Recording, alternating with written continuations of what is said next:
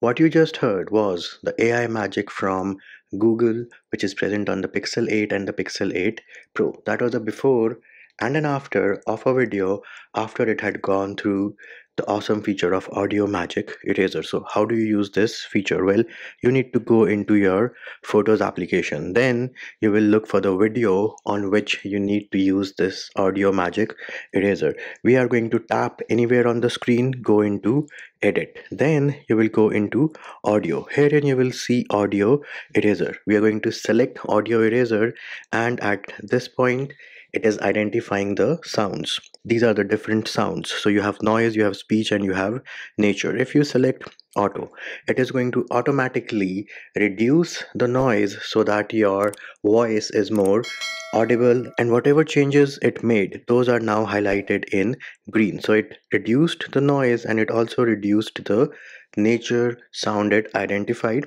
Speech was not impacted or changed. If you do not want auto you can always select on say noise and then you have a slider at the bottom and if I move it all the way to the right it is at minus 100 that means I have actually reduced all the noise.